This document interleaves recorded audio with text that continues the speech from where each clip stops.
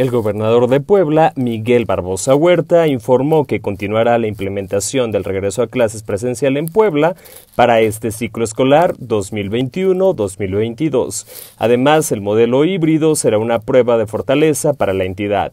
Esto pese al repunte de 277 contagios en las últimas 24 horas por la cuarta ola de la COVID-19 y la variante Omicron.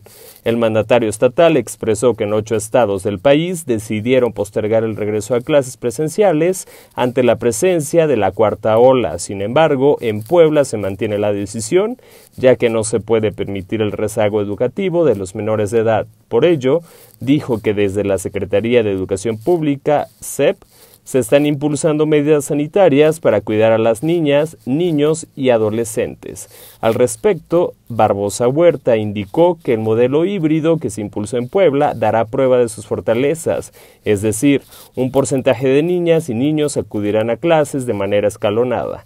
Los días lunes y miércoles, los martes y jueves asistirá otro grupo, mientras los viernes irán los menores que tienen problemas de aprendizaje todo esto con el objetivo de cuidar su salud, prevenir los contagios y regresar a la normalidad. Agregó que desde la Secretaría de Educación Pública y la Secretaría de Salud cuidarán a los alumnos y maestros durante las clases presenciales y se impulsarán todas las medidas sanitarias en las escuelas para prevenir un repunte en la cuarta ola. Por lo anterior, invitó a la sociedad poblana a vacunarse con la dosis de refuerzo, ya que dijo es la única arma para afrontar la cuarta ola de la COVID-19.